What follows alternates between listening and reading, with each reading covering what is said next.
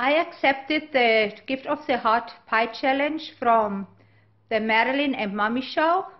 And I challenge you, Tabitha Whitby, to do the pie challenge for the Gift of the Heart. It's a good cause. You can do it, girl. I see you.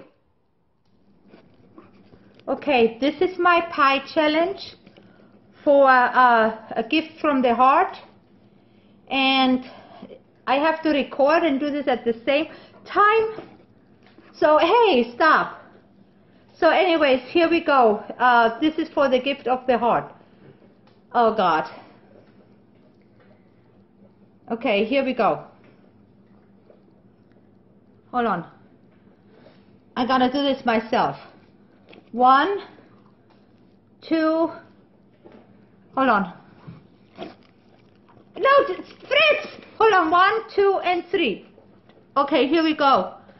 That's for the gift of the heart.